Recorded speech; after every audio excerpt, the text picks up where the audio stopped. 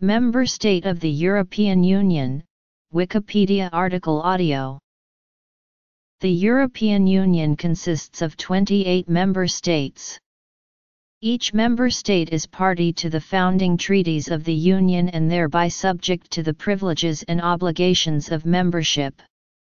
Unlike members of most international organizations, the member states of the EU are subjected to binding laws in exchange for representation within the common legislative and judicial institutions. Member states must agree unanimously for the EU to adopt policies concerning defence and foreign policy. Subsidiarity is a founding principle of the EU. List Enlargement Representation Sovereignty. Multi-speed integration. Enhanced cooperation. Opt-outs. Outermost regions. Political systems. Withdrawal. Suspension. Related states. In 1957, six core states founded the EU's predecessor, the European Economic Community. The remaining states have acceded in subsequent enlargements. On July 1, 2013, Croatia became the newest member state of the EU.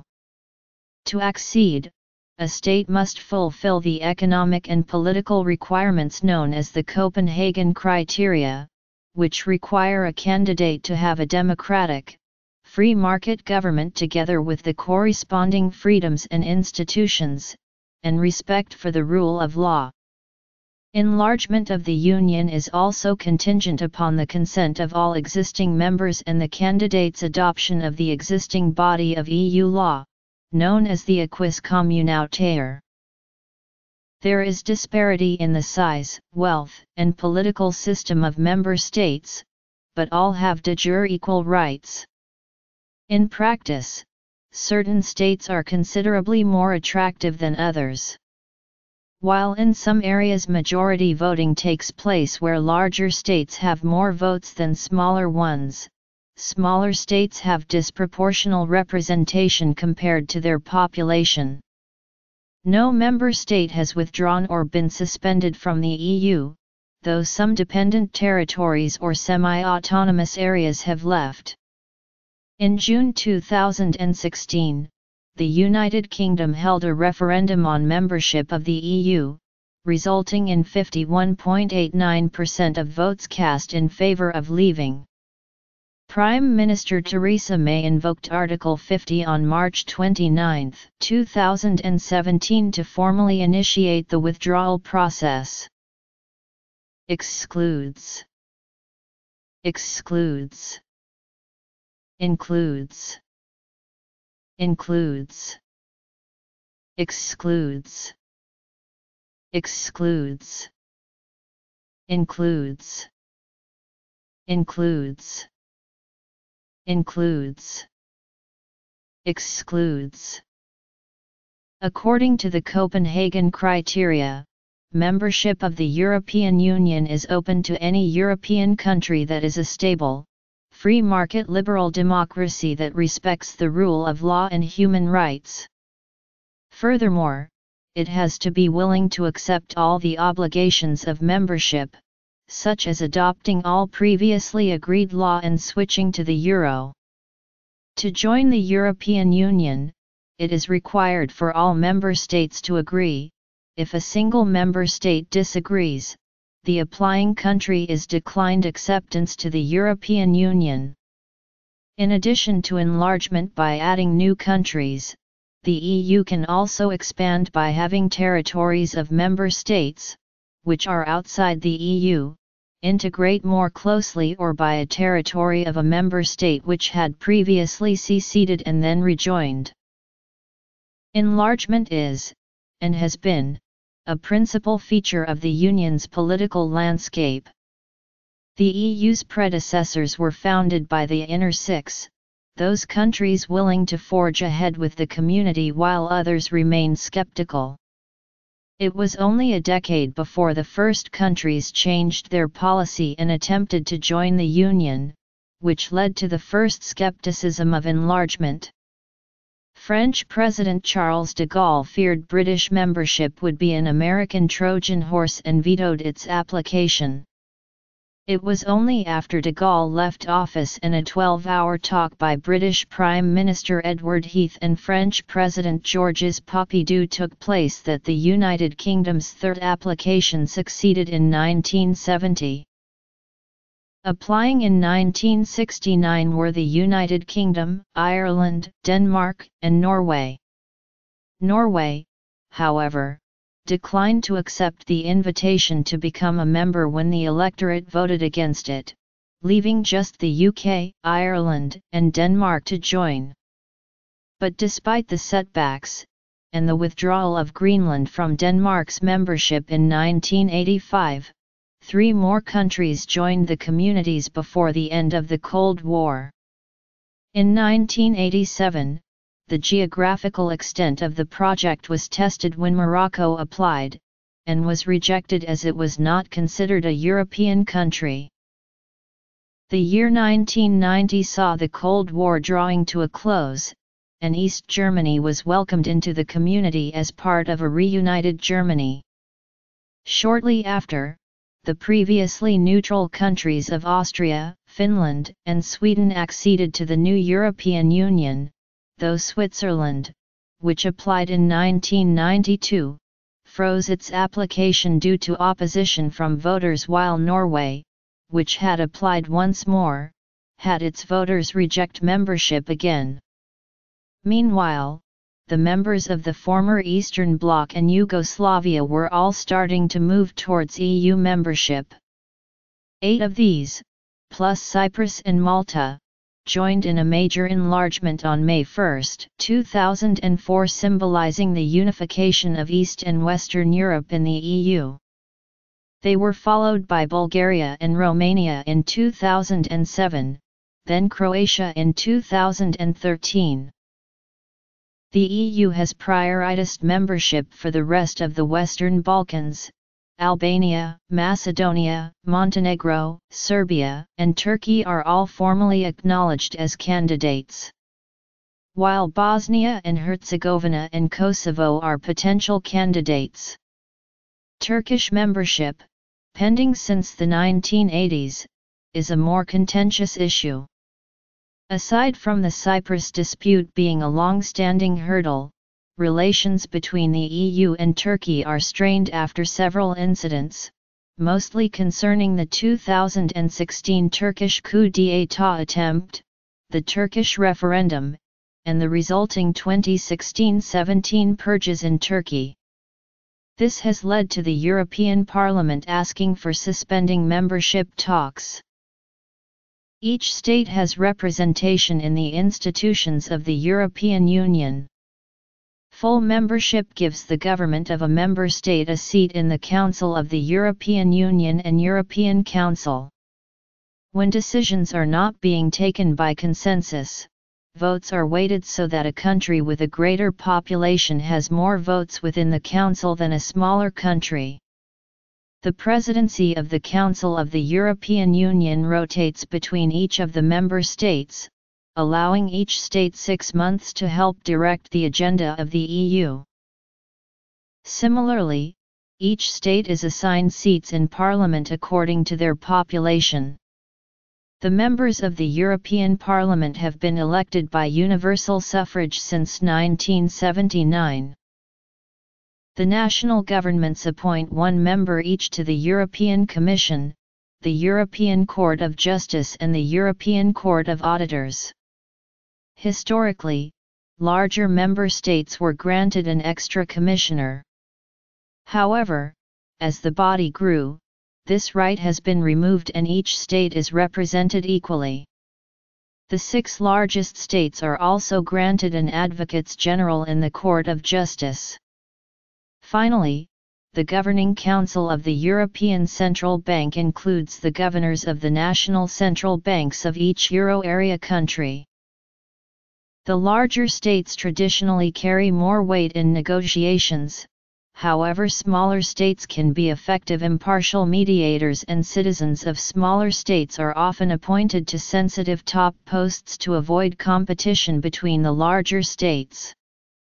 This, together with the disproportionate representation of the smaller states in terms of votes and seats in parliament, gives the smaller EU states a greater clout than normally attributed to a state of their size. However most negotiations are still dominated by the larger states. This has traditionally been largely through the Franco-German motor but Franco-German influence has diminished slightly following the influx of new members in 2004. While the member states are sovereign, the Union partially follows a supranational system that is comparable to federalism. Previously limited to European community matters, the practice, known as the community method, is currently used in most areas of policy. Combined sovereignty is delegated by each member to the institutions in return for representation within those institutions. This practice is often referred to as pooling of sovereignty. Those institutions are then empowered to make laws and execute them at a European level. If a state fails to comply with the law of the European Union, it may be fined or have funds withdrawn. In contrast to other organizations, the EU style of integration has become a highly developed system for mutual interference in each other's domestic affairs. However, on defense and foreign policy issues less sovereignty is transferred, with issues being dealt with by unanimity and cooperation. Very early on in the history of the EU, the unique state of its establishment and pooling of sovereignty was emphasized by the Court of Justice.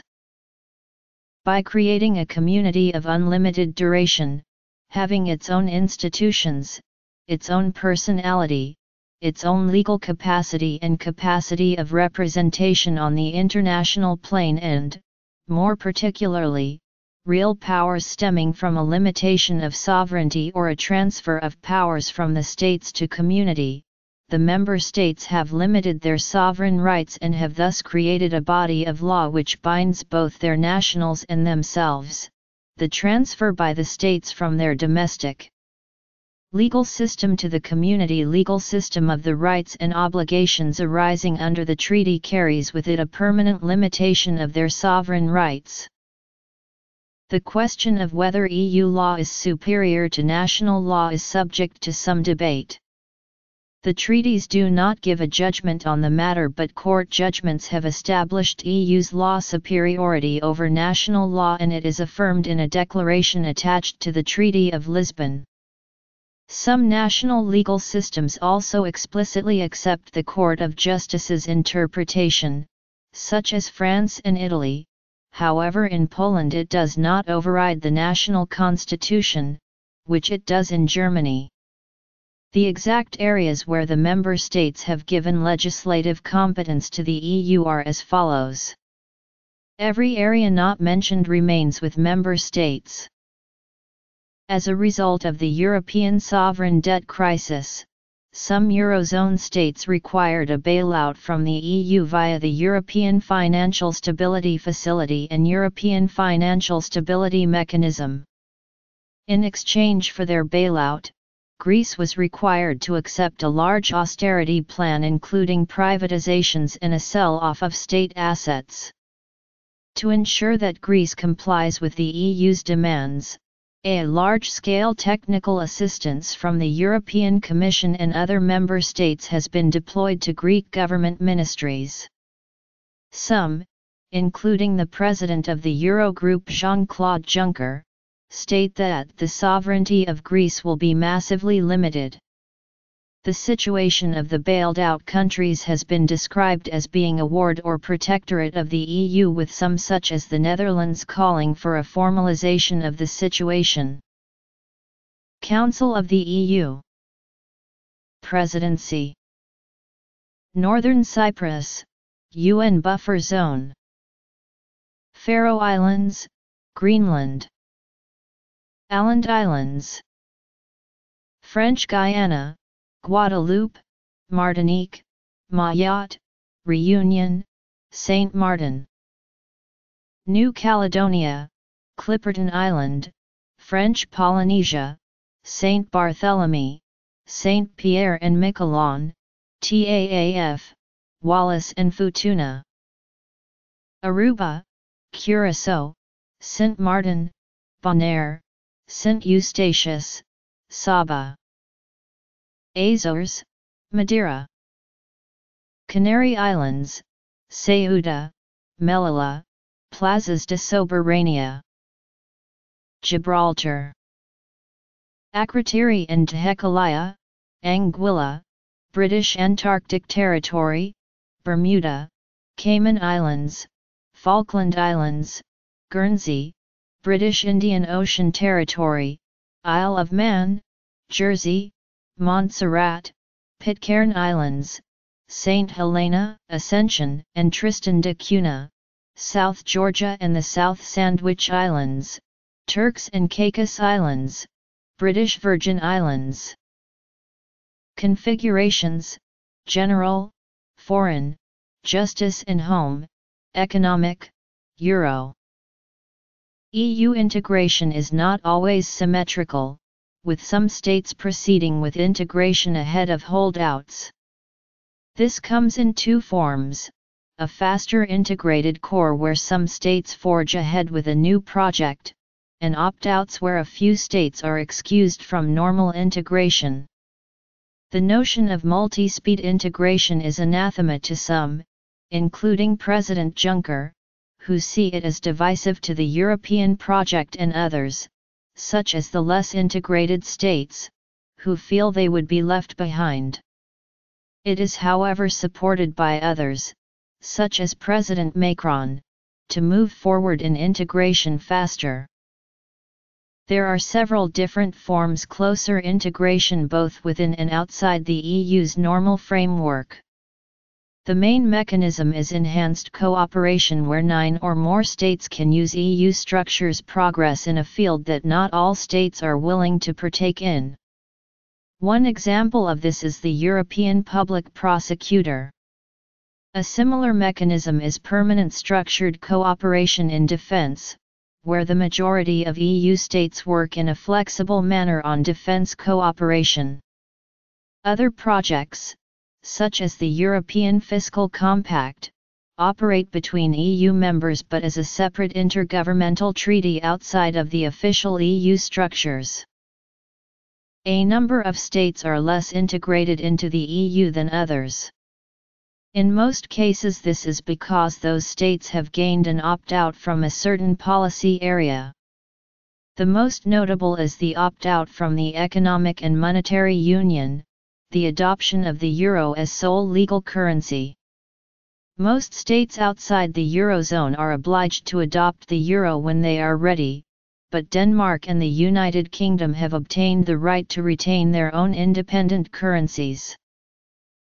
Ireland and the United Kingdom also do not participate in the Schengen Agreement, which eliminates internal EU border checks. Denmark has an opt-out from the Common Security and Defence Policy, Denmark, Ireland and the UK have an opt-out on police and justice matters and Poland and the UK have an opt-out from the Charter of Fundamental Rights. There are a number of overseas member state territories which are legally part of the EU, but have certain exemptions based on their remoteness. These outermost regions have partial application of EU law and in some cases are outside of Schengen or the EU VAT area however they are legally within the EU. They all use the euro as their currency. Entry to the EU is limited to liberal democracies and Freedom House ranks all EU states as being totally free electoral democracies. All but four are ranked at the top 1.0 rating. However, the exact political system of a state is not limited, with each state having its own system based on its historical evolution. Half of member states 14 out of 28 are parliamentary republics, while seven states are constitutional monarchies, meaning they have a monarch although political powers are exercised by elected politicians. Most republics and all the monarchies operate a parliamentary system whereby the head of state has a largely ceremonial role with reserved powers. That means most power is in the hands of what is called in most of those countries the Prime Minister, who is accountable to the national parliament.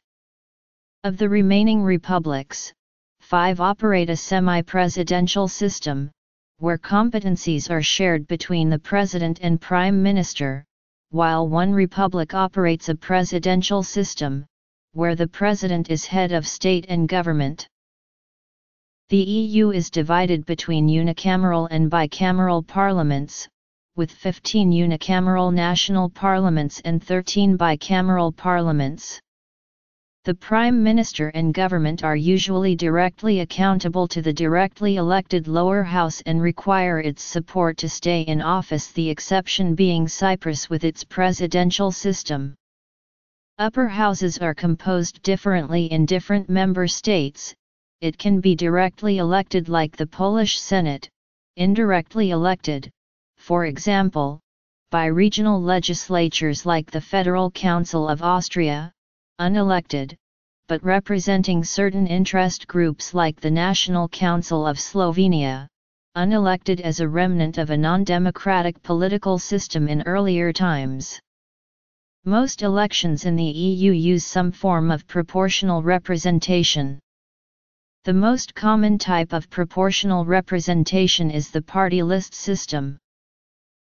There are also differences in the level of self-governance for the sub-regions of a member state.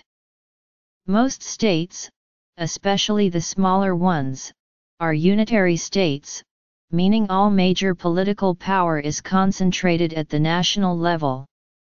Ten states allocate power to more local levels of government. Austria, Belgium, and Germany are full federations, meaning their regions have constitutional autonomies. Denmark, Finland, France, and the Netherlands are federacies, meaning some regions have autonomy but most do not. Spain and Italy have system of devolution where regions have autonomy, but the national government retains the right to revoke it. The United Kingdom has a system of asymmetric devolution, whereby Scotland, Wales, and Northern Ireland enjoy a degree of self-government. States such as France have a number of overseas territories, retained from their former empires. Some of these territories such as French Guiana are part of the EU while others are related to the EU or outside it, such as the Falkland Islands. The Lisbon Treaty made the first provision of a member state to leave. The procedure for a state to leave is outlined in TEU Article 50 which also makes clear that any member state may decide to withdraw from the Union in accordance with its own constitutional requirements. Although it calls for a negotiated withdrawal between the seceding state and the rest of the EU, if no agreement is reached two years after the seceding state notifying of its intention to leave, it would cease to be subject to the treaties anyway. There is no formal limit to how much time a member state can take between adopting a policy of withdrawal and actually triggering Article 50. In a non-binding referendum in June 2016 the United Kingdom voted to withdraw from the EU. Termed Brexit, this has become government policy under Prime Minister Theresa May. UK government triggered Article 50 on March 29, 2017. Once triggered, formal talks could begin but there is no certainty of a deal and some EU officials are preparing to deal with a situation where no deal is reached after the two-year limit. Prior to 2016, no member state had ever voted to withdraw. However Greenland, as a territory, did leave the EU in 1985 when gaining home rule from a member state. The situation of Greenland being outside the EU while still subject to an EU member state had been discussed as a template for the pro-EU regions of the UK remaining within the EU or its single market. Beyond the formal withdrawal of a member state, there are a number of independence movements such as Catalonia or Flanders which could result in a similar situation to Greenland. Were a territory of a member state to secede but wish to remain in the EU, some scholars claim it would need to reapply to join as if it were a new country applying from scratch. However, other studies claim internal enlargement is legally viable if, in case of a member state dissolution or secession, the resulting states are all considered successor states. There is also a European Citizens Initiative that aims at guaranteeing the continuity of rights and obligations of the European citizens belonging to a new state arising from the democratic secession of a European Union member state. There is no provision to expel a member state, but TEU Article 7 provides for the suspension of certain rights.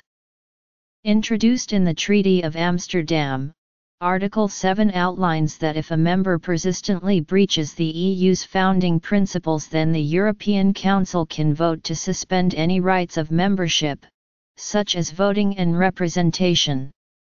Identifying the breach requires unanimity, but sanctions require only a qualified majority the state in question would still be bound by the obligations treaties and the Council acting by majority may alter or lift such sanctions. The Treaty of Nice included a preventative mechanism whereby the Council, acting by majority, may identify a potential breach and make recommendations to the state to rectify it before action is taken against it as outlined above. However, the treaties do not provide any mechanism to expel a member state outright. There are a number of countries with strong links with the EU, similar to elements of membership. Following Norway's decision not to join the EU, it remained one of the members of the European Economic Area which also includes Iceland and Liechtenstein. The EEA links these countries into the EU's market, extending the four freedoms to these states. In return, they pay a membership fee and have to adopt most areas of EU law. The democratic repercussions of this have been described as fax democracy. A different example is Bosnia and Herzegovina, which has been under international supervision. The High Representative for Bosnia and Herzegovina is an international administrator who has wide-ranging powers over Bosnia and Herzegovina to ensure the peace agreement is respected.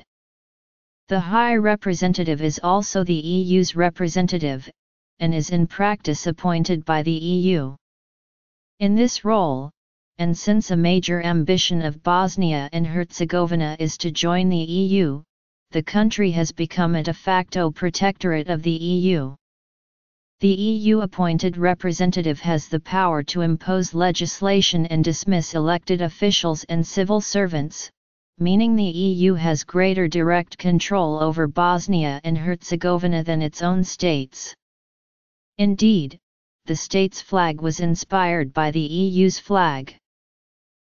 In the same manner as Bosnia and Herzegovina, Kosovo is under heavy EU influence, particularly after the de facto transfer from UN to EU authority. In theory Kosovo is supervised by EU missions, with justice and policing personnel training and helping to build up the state institutions. However the EU mission does enjoy certain executive powers over the state and has a responsibility to maintain stability and order. Like Bosnia, Kosovo has been termed an EU protectorate. However, there is also the largely defunct term of associate member. It has occasionally been applied to states which have signed an association agreement with the EU. Associate membership is not a formal classification and does not entitle the state to any of the representation of free movement rights that full membership allows. The term is almost unheard of in the modern context and was primarily used in the earlier days of the EU with countries such as Greece and Turkey. Turkey's association agreement was the 1963 Ankara Agreement, implying that Turkey became an associate member that year. Present association agreements include the Stabilization and Association Agreements with the Western Balkans, these states are no longer termed associate members. Greenland